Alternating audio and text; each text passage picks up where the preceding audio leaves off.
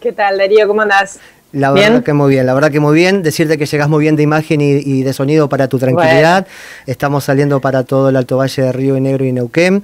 Eh, en principio agradecerte el tiempo. Este, a veces sabemos que, es difícil a través de la función pública el poder tomarte unos minutos, este, porque tanto como nosotros debe haber otros tantos en todo el país que tienen ganas de, poder conversar con vos y me dijiste, quédate tranquilo que en algún momento lo hacemos, dame unos días y fue así. Bueno, en principio ya se van a sumar también otros compañeros, está Pablo, está Pau, está Diego. En algunos minutos también se van a sumar a la conversación. Bueno, ¿cómo, cómo te estás llevando con la función pública?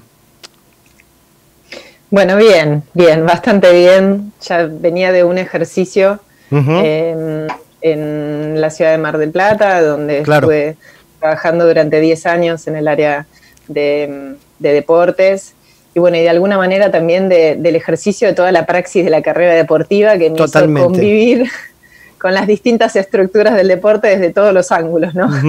Como jugadora, como dirigente, como entrenadora. Em, em, así que ya es, es, es el ámbito mi vida de alguna manera. Totalmente, totalmente, totalmente. Sabes que eh, te escuchaba en alguna declaración que el hecho de, haber hecho deportes, este, por supuesto, y en el más alto rendimiento, eh, el deporte te, hace tomar decisiones, ¿no? Por eso cuando te encontraste con la toma de decisiones en la función pública, no era que era algo nuevo para vos.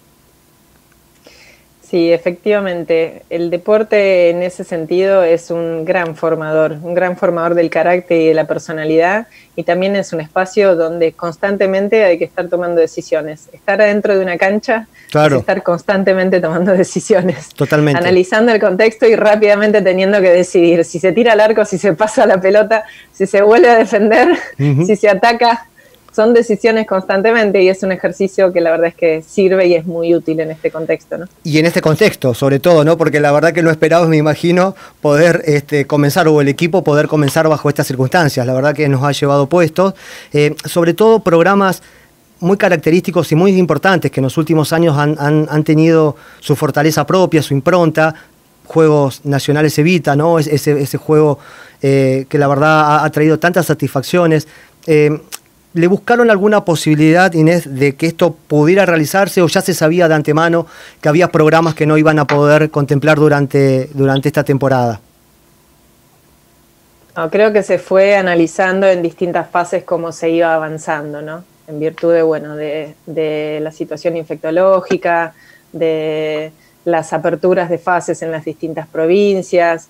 Bueno, lógicamente que al extenderse el tiempo hay algunos programas que se han visto más complicados para su realización y otros que la verdad es que han avanzado enormemente, como es, por ejemplo, toda la, toda la, parte programática con los clubes de barrio, ¿no? Que bueno, producto también de esto, de, tener una, rápida toma de decisión al respecto y una rápida reacción. Eh, enlazamos programas para sostenerlos y para contenerlos, como es el programa de emergencia para clubes, como es el programa de obras que bueno, tienden justamente a eso, ¿no? A sostener las estructuras del deporte en este momento tan complejo. Totalmente. Estamos hablando con la secretaria de Deportes de, Nación, Inés Arrondo, ya se va a sumar Paola, ya se suma Pablo y también Diego, una más al menos de mi parte y damos la vuelta en la mesa. Eh, es preguntarte por los aportes, ¿no? ¿Cómo si han podido empezar a hacer, a efectivizarse, dado que eh, fueron muchos los clubes que, tomaron este, el requerimiento y, pudieron anotarse. Entiendo que también con las dificultades lógicas de, cada uno de los clubes a través de, sus papeles, ¿no? de poder organizar sus papeles para poder estar este, en forma y, poder presentarse para, para recibir el aporte. Eh, ¿Pudo empezar a efectivizarse? ¿Cómo lo han hecho? ¿Podés ponernos un poco en sintonía en relación a esto, Inés?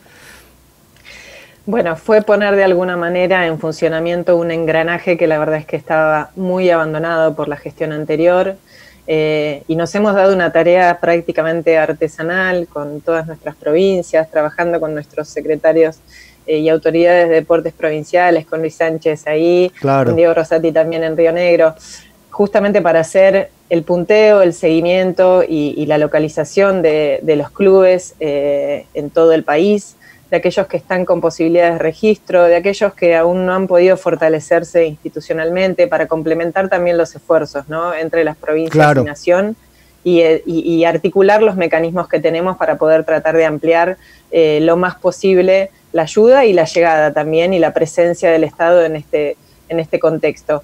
em, se dio inicio al, registro, en el Registro Nacional de Clubes de Barrio y Pueblo, en, el sentido en el que nos define la ley de clubes de barrio y pueblo, la 27098. Ha sido una ardua tarea para todos, creo, bueno, para nosotros como autoridades, para los clubes también. Sí, sí. Pero bueno, es importantísimo que sea un mecanismo que esté en pleno funcionamiento porque aparte va a ser una política activa eh, de nuestro gobierno el llevar adelante programas con nuestros clubes justamente para poder fortalecerlos. Totalmente. Cortita y ya me meto con, con, los chicos, digamos, ¿hubo alguna posibilidad ya de avance de aporte o todavía se está, digamos, recibiendo la información como para poder hacerlo propicio? No, no, se sigue en el ida y vuelta para que terminen de, completar aquellos que todavía no tienen la información completa, otros sí ya la completaron, hay otros que incluso ya han recibido eh, el, aporte económico, ah, entonces está, está sí, ya, ya, ya hay eh, clubes que han recibido el pago de, los apoyos de emergencia, hay otros que también han recibido el apoyo eh, de obras, otros que están ya en la rueda para recibirlo pronto. Eh, que es la situación de los que están en, Neuquén, que, ya están prontos a, al pago. Bien. Y bueno, y hay otros que todavía falta que terminen de, regularizar algunas cuestiones de la inscripción para poder hacer efectivo el, apoyo y la ayuda. Y bueno, la verdad es que hemos corrido contra los tiempos, eh, producto de esta situación compleja, pero eh, de alguna manera y más allá de las dificultades que, esto representa, eh, nos alegra haber podido activar todo este engranaje y todo este trabajo sistemático con los clubes. Y sabemos también que hay muchos a los que no estamos pudiendo llegar y que es importantísimo que pensemos en conjunto y, elaboremos las estrategias necesarias para poder fortalecerlos institucionalmente y que se constituyan. Está muy claro. Ahora sí te saluda Paola Zambuesa, Inés. Hola, Inés, ¿cómo estás? Un, gusto saludarte y poder hablar con vos.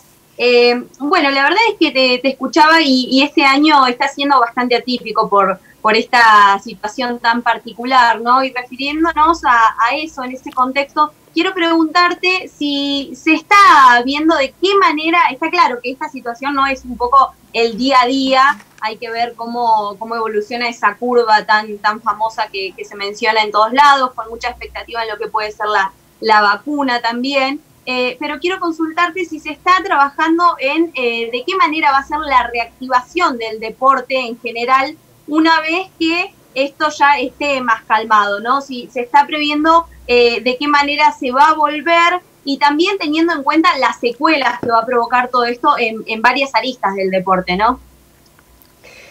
Sí, bueno, justamente para esa vuelta y para el momento de esa vuelta hemos trabajado con las federaciones nacionales en la elaboración de los protocolos correspondientes para que esa vuelta sea una vuelta progresiva, generando nuevos hábitos, porque la realidad también es que va a haber nuevos hábitos que vamos a tener que incorporar a la hora de la vuelta, tener muy en cuenta el distanciamiento social hasta que, bueno, esa vacuna sea un hecho posible y la sociedad pueda acceder eh, hasta ese momento va a ser muy importante que todos esos, esos hábitos sean incorporados por la comunidad del deporte y en la medida en la que se vaya avanzando en la apertura de las distintas fases eh, en los distintos puntos del país, bueno, esa apertura sea en los términos correspondientes, con los protocolos correspondientes, por eso, como decía antes, trabajamos con nuestras federaciones nacionales para esquematizar aquellas cuestiones que tienen que ver con, la estructura de cada una de las disciplinas, cómo, llevar adelante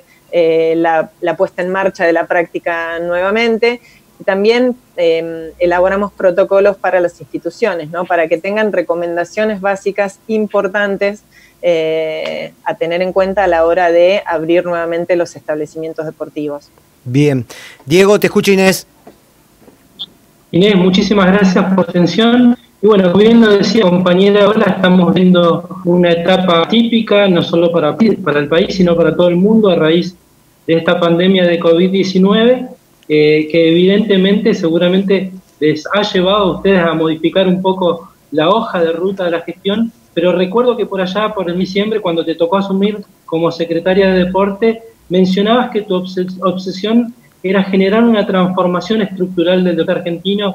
Pido si nos podés explicar a grandes rasgos en qué consistiría esta transformación estructural del deporte. Bueno, algo estructural que es importante que cambie, que cambie como sociedad, ¿no? Eh, es eh, la participación de, las mujeres en el deporte. Eso es uno de los grandes cambios estructurales que tenemos que dar, porque tiene que ver justamente con incorporar a la otra mitad de la, de la población en la práctica deportiva, en la permanencia en el deporte y en ocupar lugares en los puestos de decisión. ¿no? Y en eso hemos estado abocados desde el comienzo, abocadas desde el comienzo.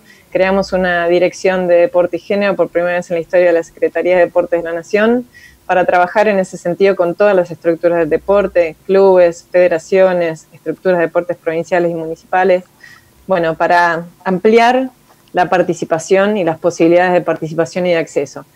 Y también tiene que ver, bueno, justamente con trabajar y articular con todos los mecanismos posibles para poder eh, potenciar la, la, posibilidad del acceso a la práctica deportiva en todas las instancias. La verdad es que cuando se habla de deporte social, se habla de la posibilidad de acceder al deporte justamente para nuestras niñas, niños y jóvenes. Esto quiere decir ampliar la, llegada del deporte a, la escuela y al sistema educativo, por eso también hemos tenido reuniones con, el ministro Nicolás Trota, este contexto lógicamente que ha complejizado ese inicio de, trabajo, pero bueno, son los lineamientos en los que queremos trabajar, eh, enlazar con el resto de las áreas de gobierno, con Hábitat, con Ministerio del Interior, con todas las áreas de gobierno justamente para poder ampliar eh, la llegada justamente de las políticas que, queremos impulsar para garantizar el acceso a la práctica deportiva. Y como decía antes, esto es el acceso de nuestras niñas, niños y jóvenes, esto es el acceso de, de los adultos mayores también al deporte, el acceso de las personas con discapacidad al deporte. Son distintos aspectos en donde el deporte y la actividad física son importantes para el desarrollo humano. El deporte y la actividad física son en sí una medida sanitaria, son en sí una medida educativa, nos van a ayudar también em, por lo que representan en cuanto a seguridad y a, mm, eh, convocar a la participación de las personas eh, y, porque es una actividad que puede desembarcar en el espacio público. Bueno, tiene un montón de factores que lo hacen importantísimo para el desarrollo humano y en ese sentido es en el que vamos a trabajar principalmente, ¿no? Pero aparte para garantizarlo como un derecho. Está muy bien. Eh, se suma también a esta hora de la tarde Pablo que te saluda, Inés. Hola Pablo. Inés, ¿cómo le va? ¿Cómo le va? El placer saludarla de la distancia. Bueno, eh, muchos dicen que para esta pandemia es positivo empezar a buscar las cosas buenas y en muchos de esos es eh, la reestructuración que se puede dar en muchos aspectos del deporte, principalmente muchas de las cosas interesantes que decía recién. Pero te quiero, me quiero enfocar más que nada en algunos planes nacionales, ya sea competencia Juegos Evita, acá en lo que tenemos en la Patagonia, Juegos de Padre, como también Juegos de la Araucanía. Te consulto, bueno, eh, si se va a replantear quizás, no solo hablando de fondo, sino también la reestructuración de estas competencias para poder llegar en primera instancia a micro, al microdeporte, a la estabilidad del microdeporte en diferentes regiones para volver nuevamente a las competencias a nivel nacional y su, su esplendor. Bueno, es algo que por un lado es una tarea que tenemos que llevar adelante con las federaciones nacionales para poder fortalecer en cuanto al esquema de deporte federado eh, los sistemas de competencias que tienen nuestras federaciones nacionales y por otro también elaborar sistemas de competencias eh, para aquellas instancias que no están federadas y que tengan también una expresión de encuentro y de participación. ¿no? Y en ese sentido, bueno, la, articulación de trabajo principalmente va a estar con nuestras provincias, como, como decías, y con los municipios, ¿no? Para, bueno, poder fortalecer esas ligas en donde hay una instancia de participación más amplia eh, de proyectos deportivos que se conforman y que es importantísimo que se puedan ir potenciando, que pueda haber eh, marco de capacitación y de fortalecimiento de, esas instancias, de acceso a infraestructura y a material deportivo. Bueno, porque la realidad también es que de esos procesos es de donde se han iniciado nuestros clubes de barrio también, ¿no? Eh, son esos proyectos, es la comunidad que se va eh, vinculando en torno al deporte y que se va fortaleciendo cada vez más ese, ese proyecto comunitario hasta constituirse desde lo institucional. Eh, a ver si alcanzamos a dar una vueltita eh, nuevamente, Inés, te agradecemos muchísimo el tiempo. Y pensaba si, como deportista de alto rendimiento como fuiste, no sé si lo seguís siendo, si aprovechás y despuntás un poco el vicio este, entrenando este, todavía, poco. por la función pública, pero pensaba este, si entendés a, Ariel Suárez, si entendés a, la chica Pignatello, ¿no? Si, si pudiste entender desde qué punto ellos pedían esta posibilidad de volver al entrenamiento. Eh, entendiendo también el contexto este, social, entendiendo también las circunstancias sanitarias, digamos, ¿hay algún punto donde te podés poner en el lugar de ellos? A ver, es entendible la, la, sensación que, que atraviesa las personas, pero también hay que aclarar que la sensación es muy diversa.